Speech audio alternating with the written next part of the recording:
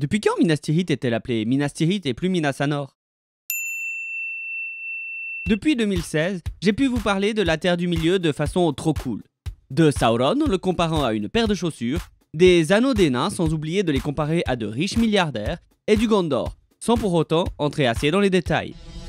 Alors au Gondor, il existe des trucs vraiment très sympas, comme Yorette, une vieille femme qui soigne des gens en parlant beaucoup trop, un arbre blanc tout mort, je ne suis pas vivant, et surtout une grande cité ultra connue et trop belle qui a changé de nom à un moment donné. Mais alors, depuis quand Minas Tirith est-elle appelée Minas Tirith et plus Minas Anor? Eh bien pour le savoir, il faut aller à Osgiliath.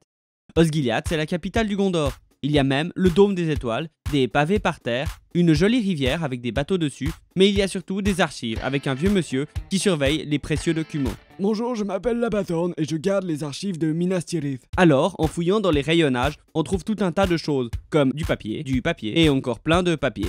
Mais celui qui nous intéresse n'est pas là. Il est dans la réserve du temps d'Earnil II. Et là, en lisant ce parchemin, on apprend qu'Earnil II avait une super barbe.